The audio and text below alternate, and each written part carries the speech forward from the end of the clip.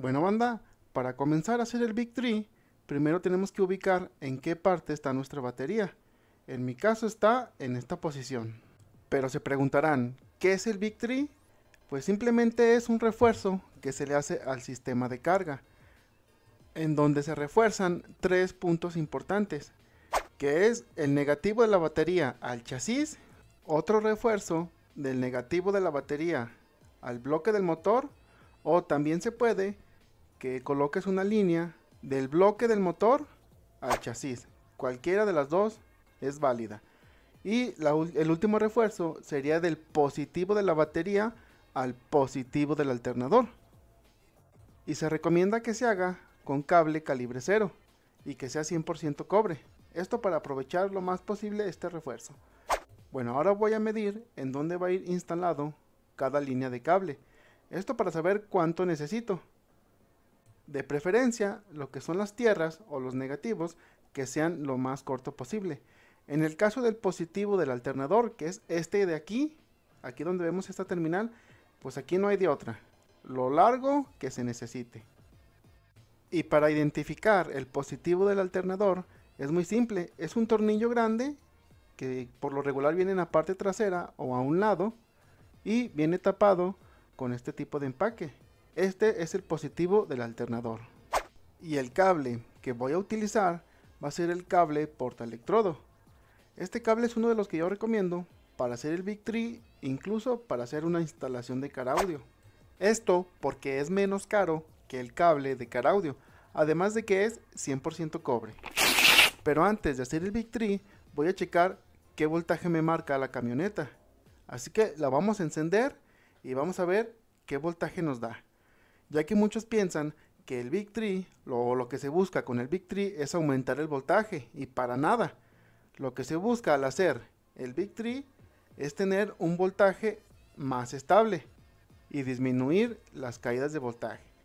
Pues bueno, el voltaje de mi camioneta está entre 14.7 y 14.6.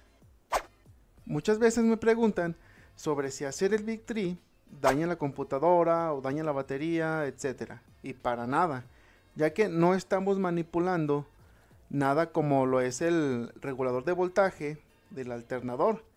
Ya que por ejemplo, si tu alternador trabaja por encima de los 14.7 voltios, arriba de los 15, ahí hay un problema. O si trabaja por debajo, que sea 11 voltios, 10 voltios, significa que también hay un problema. Pero nosotros simplemente estamos agregando un cable de mayor grosor para evitar las caídas de voltaje. También me preguntan si lo pueden hacer con cable calibre 4. Si es posible, pero no lo vas a aprovechar al 100%. Y otra cosa, el Big Tree lo puedes hacer casi en cualquier auto, pero se recomienda más para autos que ya le instalaron un sistema de car audio que ya no viene de fábrica. Como en mi caso, el negativo de la batería está bastante lejos de algún tornillo del bloque del motor, lo que voy a hacer es conectar el otro refuerzo del bloque del motor al chasis. Si es válido, si es posible. O sea, no hay ningún problema si haces este procedimiento así. De igual manera funciona. Así que aquí es donde voy a poner la conexión del bloque del motor al chasis. En vez del bloque del motor a la batería, ya que sería demasiado largo el cable. Y esto es porque se busca que el cable que va del negativo al chasis y al bloque del motor sean lo más cortos posible. Pero bueno, aquí ya tenemos lo que es conectado el bloque del motor al chasis y una línea del negativo de la batería al chasis. Bueno banda, y para terminar vamos a conectar una línea que va del positivo de la batería. La vamos a pasar directamente al positivo del alternador. Aquí yo les recomiendo que coloquen un fusible a no más de 20 centímetros del positivo de la batería. Yo por el momento no lo encontré. Aquí en donde yo vivo pues no tenían, o sea, de calibre cero no tenían. Así que próximamente se lo voy a poner. Y así es como quedaría. Aquí también podemos observar el cable que va del negativo de la batería al chasis. Ahora vamos a ver si nos da alguna falla o algún problema, que no debería si lo haces correctamente. Bueno, aquí ya encendí la camioneta, vamos a checar qué voltaje nos está dando. Recuerden que el Big no siempre le sube el voltaje al alternador. O sea, eso no, no sirve para eso. Simplemente es para mantener un voltaje más estable. Y bueno, aquí nos está dando 14.7.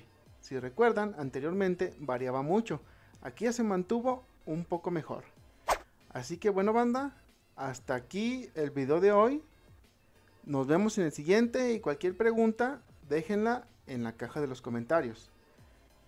Y les recuerdo, el Big Tree lo puedes usar en autos que no tienen sonido, pero principalmente en autos que ya le agregaste un sistema de car audio.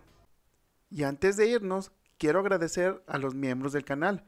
Muchas gracias por el apoyo que le están dando a este proyecto de car audio.